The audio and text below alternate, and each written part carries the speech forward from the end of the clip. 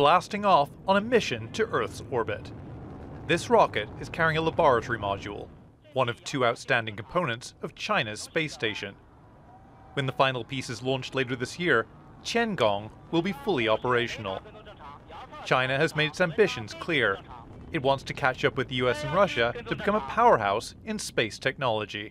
The figures are really startling. Um, the Americans are still by far the world leaders in the number of rockets that they launch, but China is catching up very, very quickly. They're now also aiming at a human presence in space, which has two purposes one, scientific, but the other, of course, is prestige.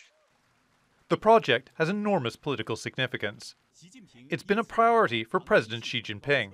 He's poured billions of dollars into China's space program. And the completion of Tiangong is set to coincide with another milestone, his 10th year in office.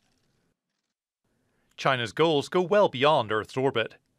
A manned moon mission could be on the cards by the end of the decade. I would have laughed at this as an idea three or five years ago, but now we have to take everything that China says very seriously indeed. The first building blocks for the project, the mission that will land the first Chinese people on the moon is already under construction. They've shown us pictures in the factory uh, of the modules. So this is going to happen. They won't have a base on the moon by the end of this decade, but there is now a realistic possibility that a Chinese woman or a Chinese man could be the next person to set foot on the moon. China has been excluded from the International Space Station since 2011, when the US banned NASA from working with it.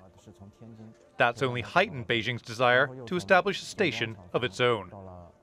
And as China continues to reach for the stars, there's no telling what else its space program might achieve in the decades to come. Fintan Monaghan, Al Jazeera.